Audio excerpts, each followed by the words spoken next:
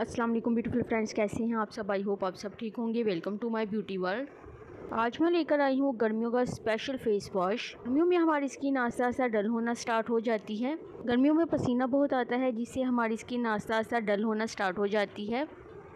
जो school colleges वगैरह जाने वाली गर्ल्स हैं, उनकी स्किन तो बहुत ज़्यादा ख़राब हो जाती है। बाहर निकलने की वजह से, सूरज की शुआएँ लगने की वजह से। और जिनकी ऑयली स्किन होती है, जिसकी वजह से ऑयली स्किन वालों के पिंपल्स और एक्ने वगैरह निकलनी स्टार्ट हो जाती है। आज मैं लेकर आई हूँ Christine white glow face wash ये बहुत ज़बरदस्त फेस वॉश है। मैं भी स्टडी करती हूँ यूनिवर्सिटी जाती हूँ। मैंने ये फ़ेस वॉश यूज़ किया है, इसलिए मैंने सोचा आपके साथ भी शेयर करूँ।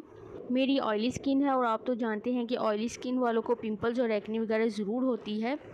ऑयली स्किन वालों की क्लिनजिंग ज़्यादा नहीं हो पाती तो इस वजह से, ऑयल आने की वजह से हमारे पोर्स भी ओपन हो जाती हैं और एक्नी वगैरह हो जाती है।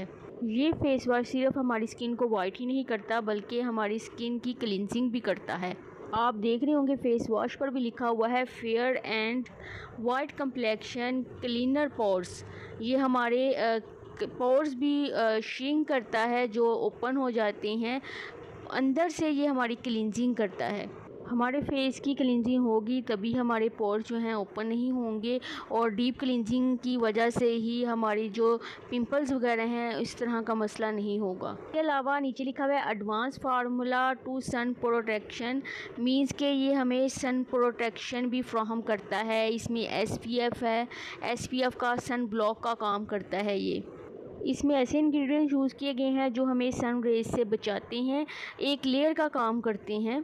बैक साइड पे आप इसके इंग्रेडिएंट्स रीड भी कर सकते हैं। उसके अलावा नीचे लिखा हुआ है कि ये ऑयल स्किन टाइप के लिए है मींस कि ये ड्राई स्किन वाले भी यूज़ कर सकते हैं और ऑयली स्किन वाले भी यूज़ कर सकते हैं।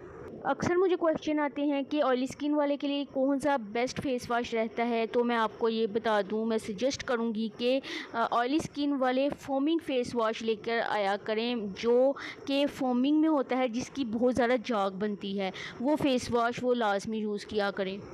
जितना फोमिंग फेस वॉश होगा, जितनी ज़्यादा जाग बनेगी, उतनी ज़्यादा क्लिनजिंग होगी, ज़्यादा क्लिनजिंग होने की वजह से ऑयल आना कम हो जाएगा। उसके अलावा जो ड्राई स्किन वाले हैं, वो ज़्यादा फोमिंग फॉर्म में ना लिया करें फेस वॉश बल्कि जेल फॉर्म में ले लिया करें। जितनी फोमिंग में वो लेंगे ज़्यादा जॉग बनेगी, उतना ऑयल उनका और कम हो जाएगा और ज़्यादा स्किन ड्राई हो जाएगी। और ये फेस वॉश जो है, ये नॉर्मल है, ना ही बहुत ज़्यादा जाग बनती है, बल्कि नॉर्मल इसको यूज़ कर सकते हैं ऑल स्किन टाइप वाले।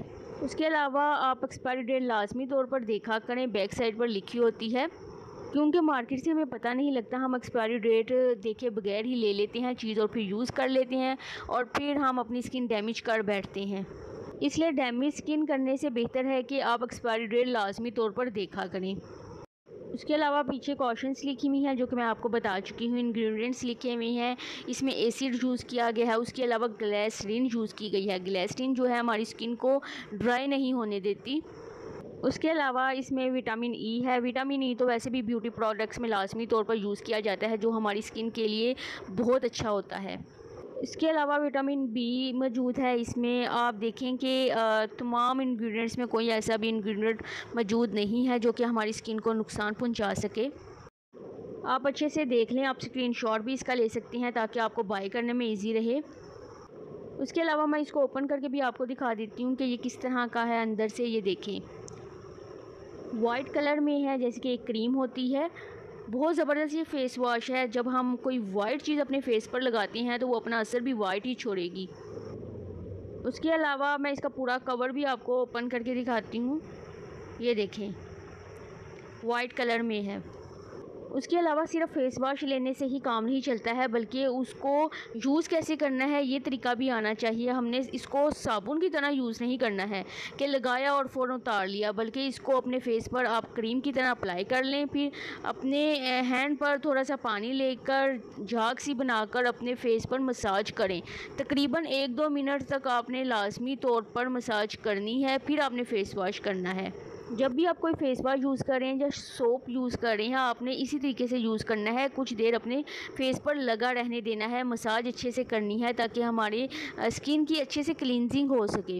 इस तरीके से यूज़ करेंगे तो फिर आप रिज़ल्ट खुद ही देखेंगे। ये मैंने तकरीबन 150 समथिंग का बाई किया है। आपको तकरीबन इतने का मिल जाएगा। ऑनलाइन भी आप इसको दराज से बाई कर सकती हैं। थैंक्स फॉर वॉचिंग अपना बहुत ख्याल रखिएगा। दुआ में याद रखिएगा। अल्लाह हाफिज़।